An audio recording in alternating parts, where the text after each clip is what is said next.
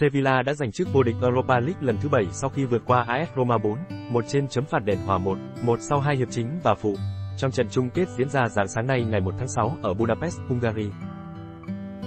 Thủ môn Yassin Bao là người hùng của Sevilla khi cản phá được hai quả phạt đền của AS Roma trong loạt đá cân não, trong khi đội bóng đến từ Tây Ban Nha chuyển hóa thành công cả 4 lần sút 11 mét của họ. Thủ môn Yassin Bao là người hùng mang lại chiến thắng cho Sevilla. Ở trận này, Paulo Dybala đã có tên trong đội hình xuất phát của AS Roma bất chấp những lo ngại về chấn thương trong thời gian chuẩn bị cho trận đấu. Tiền đạo người Argentina mới chỉ có 4 lần ra sân từ băng ghế dự bị kể từ trận gần nhất gặp Feyenoord vào ngày 13 tháng 4 nhưng quyết định của huấn luyện viên Jose Mourinho đã mang lại hiệu quả khi tiền đạo người Argentina là người mở tỷ số cho đội bóng Ý ở phút 35. Tuy nhiên, AS Roma đã không thể bảo toàn tỷ số trong hiệp 2 trước sức ép của Sevilla. Đội bóng của huấn luyện viên Jose Luis Mendilibar có được bàn gỡ ở phút 55 sau pha đá phản lưới nhà của Gianluca Mancini. Hòa 1, một trong hai hiệp chính buộc hai đội phải bước qua hiệp phụ.